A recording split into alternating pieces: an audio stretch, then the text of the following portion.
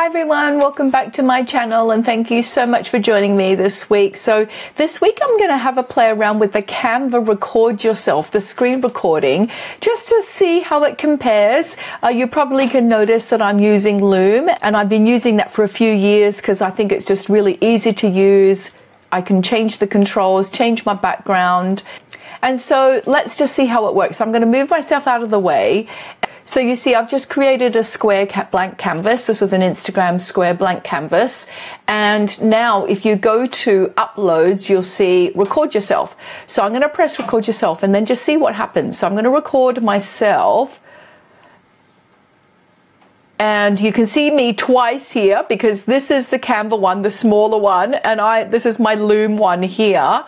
If you go up to the person icon where it says camera, we've got camera, camera and screen and screen. So let's actually choose First of all, I want a different mic, so let me move myself over. I want the wireless mic so that the sound quality is a little bit better before I start recording. And then I also want to have a look at the dashboard of Padlet. I'm going to look at a resource but test the screen recording. So let's put share here. And you can see this is my loom that's actually screen recording my dashboard on my Padlet wall, but I can view in the Canva tab. So let's have a look what that looks like. That's here. So I'm going to start recording. Okay, so let's just start recording. This is on Canva. And you can see this is what I'm recording here. I'm just testing. I'm going to view in the Padlet.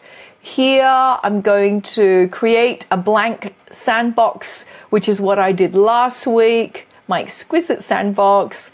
And then I have lots of lovely little post-it notes that I'm going to put here in green. And I can duplicate that, I know, with the little hand. I can move them around.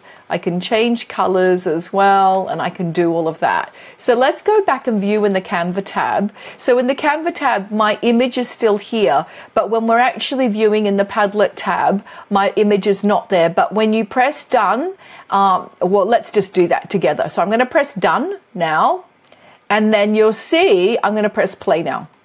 And you can see this is what I'm recording here. I'm just testing. I'm going to view in the Padlet. Here, I'm going to create a blank sandbox, which is what I did last week, my exquisite sandbox. And then I have lots of lovely little post-it notes that I'm going to put here in green. And I can duplicate that, I know, with the little hand. I can move them around. Okay, so we know that that works. We're going to save and exit and then see what happens. So I'm going to save and exit. And you can see this is what I'm recording here. I'm just testing. I'm going to view in the Padlet.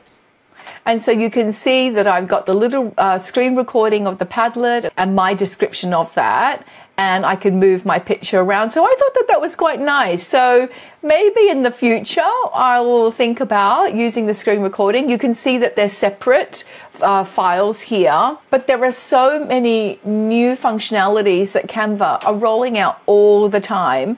And this is not a new one, but I just thought what a great tool where Canva really is a one-stop shop for everything.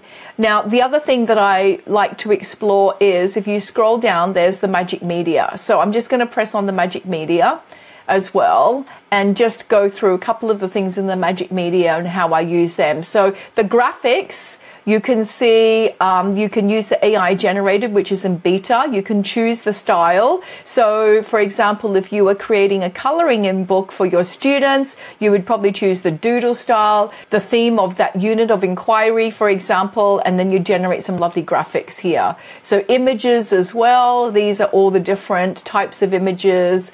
And I have tried the videos, but there's limited credits. So, this what just to show you uh, it's not great yet. I'm hoping that the tool is going to improve with time.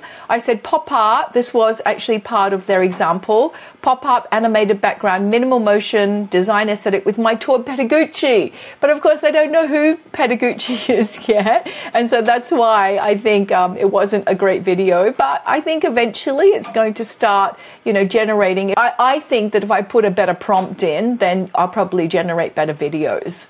Okay, so that was just a little snippet on Canva and their screen recording. And I can see this to be very valuable and useful for teachers who want to just do a quick two minute explanation, three minute explanation of uh, an idea or to answer questions. Maybe all of the students in your class have exactly the same questions. And so you want to address it in a quick short video that you put in your on your discussion board. Lastly, I want to say thank you, Canva, for giving educators in the world this wonderful, powerful tool and giving them the pro access so that we can really enhance learning for our students. Thank you so much for joining me this week, and I hope to see you next time.